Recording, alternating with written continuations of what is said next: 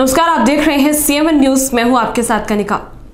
सियासत के मैदान में उतरने से पहले दोनों ही बड़ी पार्टियों के नेता ईश्वर की शरण में जा रहे हैं।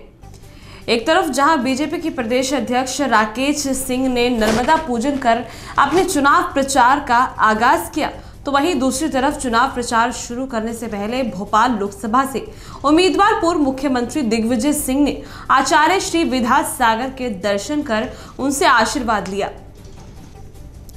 इस दौरान दिग्विजय सिंह ने कहा कि वह किसी को चुनौती नहीं देते हैं, बल्कि लोग खुद उन्हें चुनौती मान लेते हैं।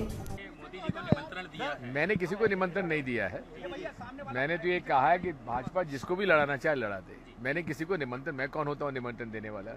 कड़ी टक्कर मिलेगी और आपकी हार होगी क्या कहना चाहेंगे आप? राकेश सिंह जी, अपना चुनाव क्षेत्र देखें।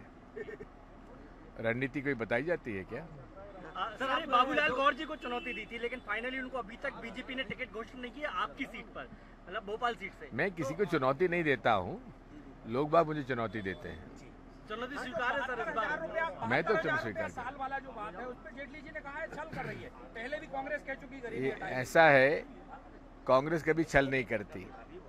छल करने का चरित्र शुद्ध रूप से भाजपा का है मोदी जी का है जेटली जी का है। सर जो चंबल और भिंड के जो भाजपा के कुछ नाराज़ नेता हैं वो मिश्रा मुझे मुझे जानकारी नहीं है। धन्यवाद। स्वागत स्वागत है। स्वागत है हार्दिक स्वागत है।